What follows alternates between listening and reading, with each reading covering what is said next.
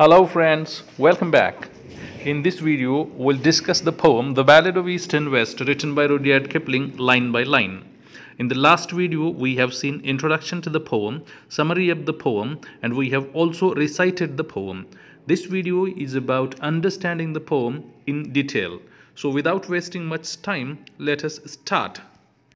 You must remember that the poem was written in 1889 when British ruled most of the eastern countries. The poem is about the British army personnel and the Afghan raider called Kamal. So let us start reading the poem and understanding it line by line.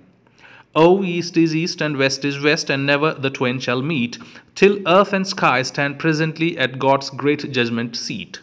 See, the poem is written in couplets, so we'll try to read it out in couplets and understand the meaning of the poem in couplets itself.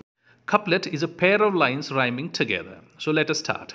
Oh, east is east and west is west, and never the twain shall meet. That means east is east and west is west. These two are different places, and never the twain shall meet. And never, it is not possible ever that the twain, twain means two, both, east and west, twain shall meet. These two cannot ever meet.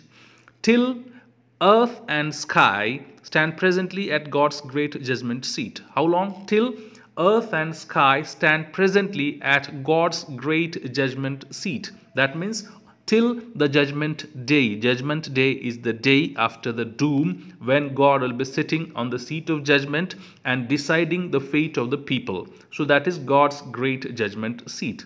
But there is neither east nor west, border nor breed nor birth. When two strong men stand face to face, though they come from the ends of the earth. But there is no east nor west. Remember, there is neither east nor west. There is no border, there is no breed, there is no birth. When when two strong men stand face to face, face to face, in front of each other, though they come from the ends of the earth, though they come from two distant parts of the world, the ends of the earth, distant parts of the world. That is the beginning of the poem. This is the refrain of the poem. It is also repeated at the end of the poem. The real poem, the story of the poem begins here. Kamal is out with 20 men to raise the border side and he has lifted the colonel's mare that is colonel's pride. Kamal is the Afghan raider. He is out with 20 men. Why is he there? To raise the border side. To raise the border side. He is a rebel and he is there. He is a robber. He loots British and other people. So Kamal is out with 20 men. He has 20 men with him and he is there to raise the border side. And he has lifted what has he done? He has lifted. Lifted means taken away. He has taken away the colonel's mare. Mare is female horse. He has lifted colonel's mare, that is colonel's pride. He has taken away colonel's female horse, that was colonel's pride. Colonel was proud of that mare and Kamal has taken away the same mare. He has lifted her out of the stable door between dawn and the day and turned the calkins upon her feet and ridden her far away. He has lifted her. Her means this mare. He has taken this mare out of the stable door. Stable is the place where horses are kept.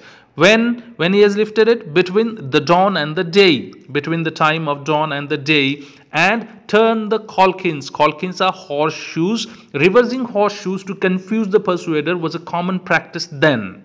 And turn the calkins upon her feet and ridden her far away. He rode with the mare to a distant place, ridden her far away.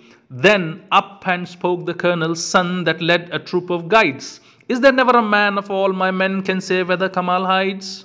Then up and spoke, then got up and spoke. Who? Colonel's son. Colonel's son got up and spoke. Who was Colonel's son? What was he doing there? That led the troop of guides. Guides was a group of the people, a group of army, British army there, which included Indian men in it. And the colonel's son said, isn't there a man in all these troop of guides who can tell me where Kamal hides? Where is Kamal hiding? Whereabouts of the Kamal? Then up and spoke Muhammad Khan, the son of Rasildar, If ye know the track of the morning mist, ye know where his pickets are. Then spoke Muhammad Khan. Muhammad Khan got up and spoke. Who's Muhammad Khan? Muhammad Khan is the son of Rasildar. What is Rasildar? An Indian cavalry officer. That is Rasildar.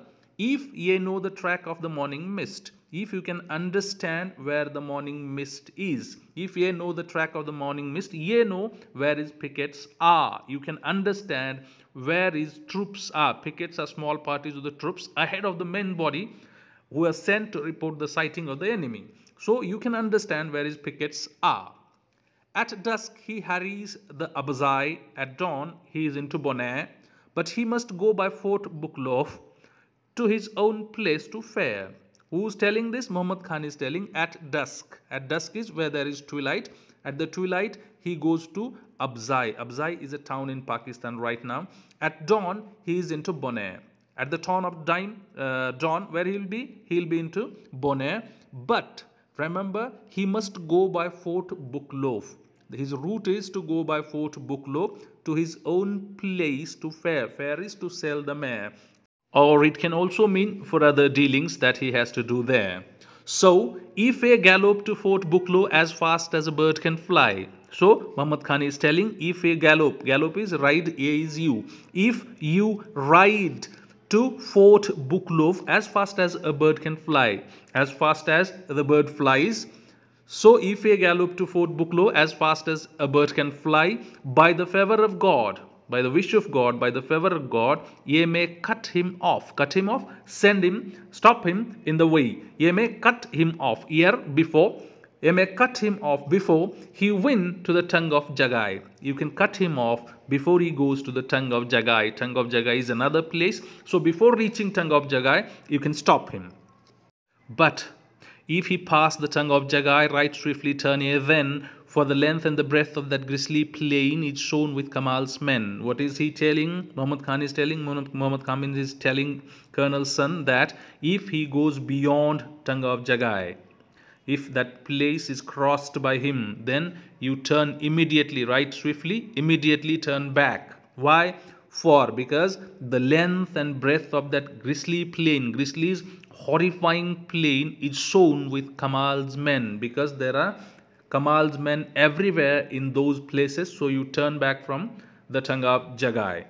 There is a rock to the left and rock to the right and low lean thorn between. And ye may hear a breech-bolt sneak where never a man is seen. Now at that place, what is there in that plain? There is a rock to the left and there is the rock to the right and low lean thorn between. Low lean thorns are there in between and ye may hear, ye may hear, you can hear a breech-bolt sneak Breech bolt is the rifle's characteristic sound. Sneak is sound.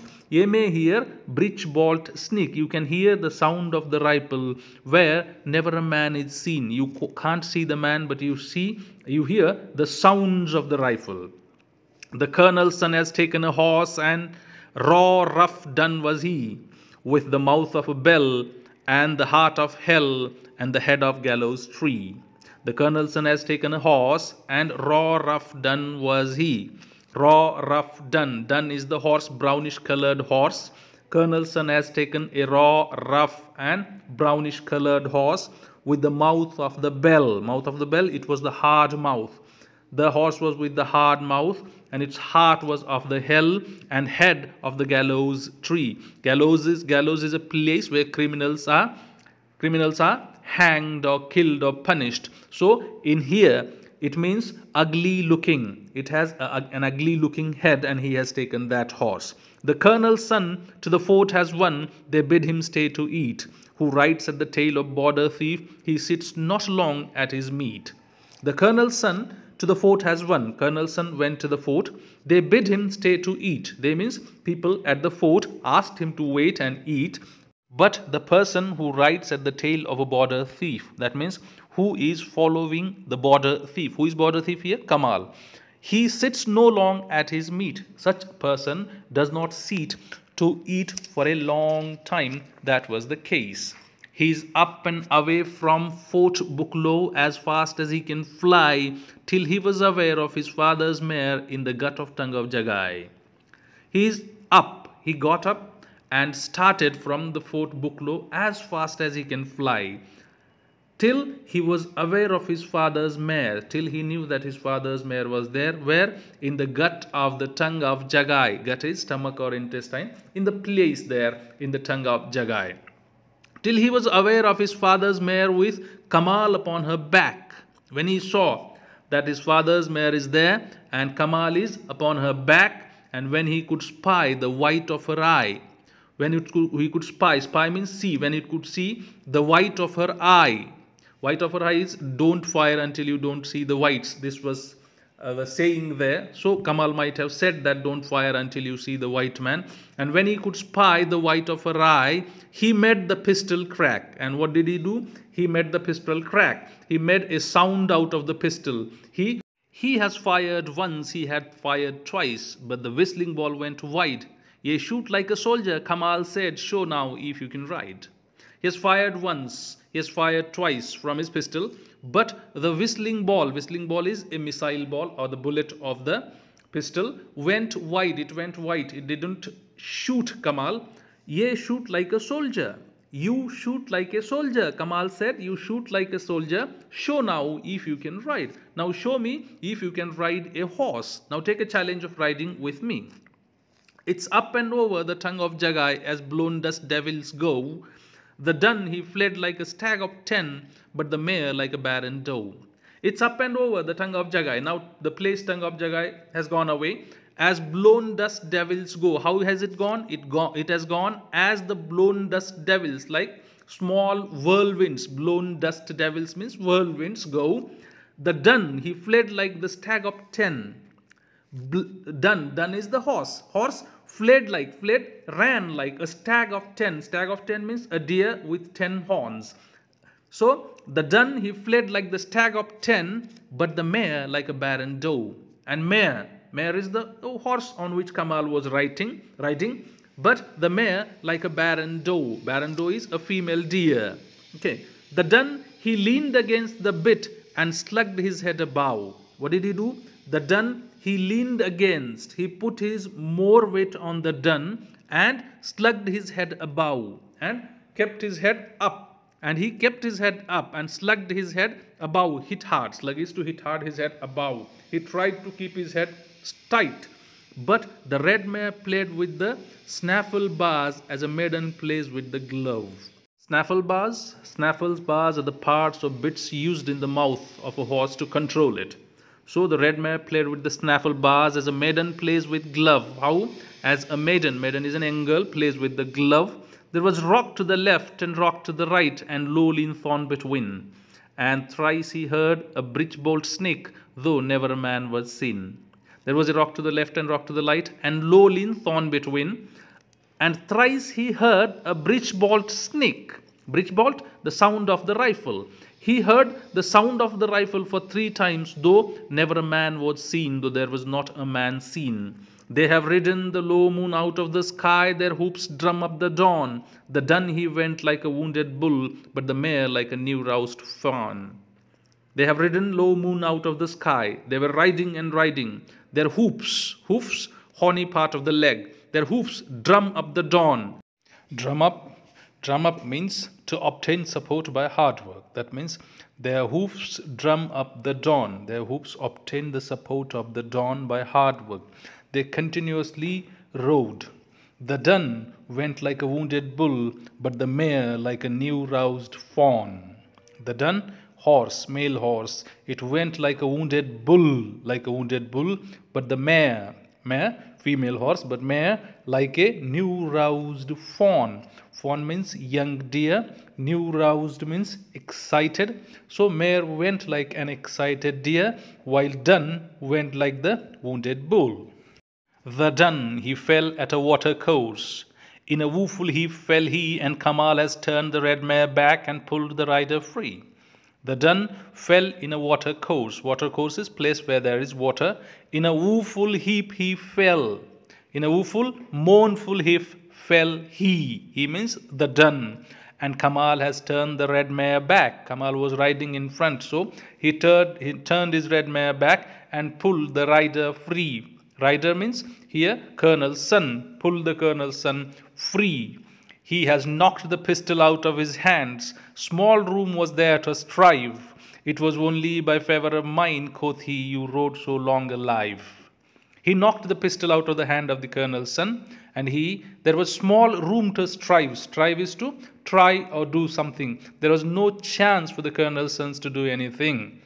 Strive, it was only by my favor. It was only by favor of mine. It was my favor only, quoth he. Quoth means said he. He said, It was only by my fare, a rode so long alive. You rode on your horse so long, and you are still living because of me only. There was not a rock for twenty mile, there was not a clump of tree, but covered a man of my own men with his rifle cocked on his knee.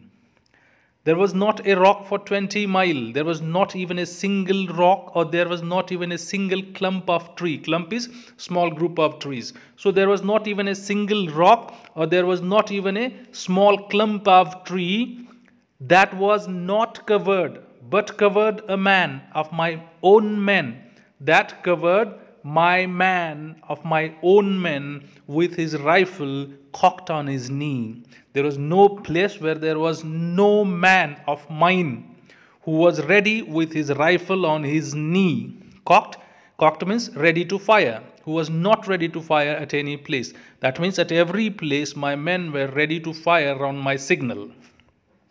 If I had raised my bridle hand as I have held it low, you might have seen that I was holding the bridle, uh, bridle hand low. If I had raised it, if I had raised my bridle hand, bridle, headgear used to control the horse. That is called bridle. If I raised my hand, bridle hand as I have held it low, the little jackals that flee so fast were feasting all in a row. The little jackals, jackals are the small wild dogs. These kinds of animals which are running so fast, fast what they would have done? They were feasting in a row. They would have been eating your flesh in a row. Feasting? Eating. They must have been eating your flesh in a row. If i had bowed my head on my breast as i have held it high if i had bowed my head on my breast because i was always trying to hold it high i held it high always if i had bowed it on my chest or breast kite that whistles above us now were gorged till she could not fly Probably if I did so, the kite, kite is a bird, chill, the kite that whistles above us now were gogged, gogged, must have eaten greedily till she could not fly. She must have eaten your flesh a lot. Lightly answered the colonel's son. Now it is the turn of colonel's sons to speak. Lightly answered the colonel's son, Do good to bird and beast, but count who come for the broken meats before thou makest a feast. What does he say? Do good to bird and beast. Let the jackal eat, let the chill eat, or this kite eat my flesh. But remember, do good, do good to them. Do good to bird and beast. But count, count, remember who comes, keep in your mind, who comes for the broken meat. Broken meat, fragments of the food that remain after meal. So who comes to collect that fragments of the meat before thou makest a feast? Before you try to make a feast, try to remember, try to understand that who's coming to take these fragments of the food remaining after the meal. But count who come for the broken meats before thou makest a feast. If there should follow a thousand swords to carry my bones away, belike the price of jackal's meal were not more than a thief could pay. If there should follow a thousand swords to carry my bones away, if a thousand swords come to take my bones away, be like, be like, probably in all possibility, the price of a jackal's meal were more than a thief could pay. Remember, if you do so, the price of a jackal's meal, what you're feeding the jackal, probably would be more than what is possible for a thief, than a thief could pay because you are a thief. They will feed their horse on the standing crop, their men on the garnered grain. The thatch of byres will serve their fires when the all cattle are slain. They'll feed, they'll means the people who come, thousand people who come here to take my bones away. What will they do? They will feed their horse on the standing crop. They'll feed, they'll feed their horse on the standing crop that has been there. Their men on the garnered grain. Their men will feed themselves on the collected grains here. The thatch of byres, thatch cover, cover of byres, byres is cowshed. The thatch of byres, cover of cowsheds will serve their fires. That means roof made for the cows will be used as their fire for those people because they'll slay all your cattle. But if thou thinkest the price be fair, thy brethren wait to sup. The hound is keen to the jackal's pound, howl dog and call them up. And if you think, but if thou thinkest, if you think the price be fair, this is the fair price, then thy brethren wait to sup. Thy brethren means jackals and birds. They are waiting to eat. Sup is to take in sips to eat. The hound is keen to jackal. Then I am telling you, the hunter dog is keen to jackal. Spawn, howl dog, and call them up. Make sounds and call those birds here to eat me. And if thou thinkest the price be high, in steer and gear and stack, give me my father's mare again, and I'll fight my own way back. And if you think that price is so high, then control yourself in steer, control gear, adjust and stack, arrange in a row. Let them stop. And what you do, give me my father's mare back, give me my father's horse back, and I'll go back to my own place. Kamal has gripped him by his hand and set him upon his feet. No talk shall be of dogs, said he, when wolf and grey wolf meet. And Kamal hold him and picked him up and made him stand on his feet and said, No talk shall be of dogs. Let us not talk of dogs when wolf and grey wolf meet. You are a wolf and I am a grey wolf, and when two meet, they do not talk of the dogs. May I eat dirt if thou hast hurt of me in deed or breath. May I eat dirt, possibly if I hurt you in any manner, in deed or breath. In any manner, I will be eating dirt. It is as good as eating dirt for me. What dam of lances, dam of lances, warriors. What dam of lances brought thee forth? What dam of lances, what warriors forced you to come here, brought thee forth to jest at the dawn with death? What warriors are there behind you that have made you come here in the morning? Justice play, to play at the dawn with death, to play with the death. How many people are there behind you? Lightly answered the colonel's son, I hold the blood of my clan. Take up the mare for my father's gift. By God, she has carried a man. Lightly answered the colonel's son, I hold by the blood of my clan. He says, I'm telling it by the blood of my clan. Take up the mare for my father's gift. You can keep this mare for you. By God, she has carried a man because you are, you are a worthy man. You are a strong man. The red mare ran to the colonel's son and nuzzled against his breast. The red mare ran to colonel's son and nuzzled, nuzzled, gently rubbed against his breast. We be two strong men, said Kamal then, but she loveth the youngest best. And Kamal said, We are two strong men, but she loves the younger one. She loveth the youngest best. So she shall go with a lifter's dower, my turquoise studded rein. So she'll go with lifter's dower. Lifter, one who brought her here. That is from my dower. Dower is dowry. With my dowry she will go. What is my dowry? My turquoise studded rein. Turquoise studded means opaque blue green stone. Studded, decorated with opaque blue green, green stone. The rein made up of these stones. She'll go with this. My broidered saddle and saddle cloth and silver stirrups twain. And everything he has used for the mare this mare will go with all these things. Stirrups means pair of devices on the sides to keep the legs. The colonel's son a pistol drew and held it muzzle end. Now colonel's son takes out the pistol and held it from the open end where it fires that end. Ye have taken the one from a foe said he, Ye'll take the mate from a friend. You have taken one, that means you have taken the mare from an, enemy. Now you will take this pistol from the friend. A gift for a gift, said Kamal straight, a limb for the risk of a limb. Thy father has sent his son to me, I'll send my son to him. And Kamal said, Gift for the gift. Your father has sent his son to me, so I'll send my son to him.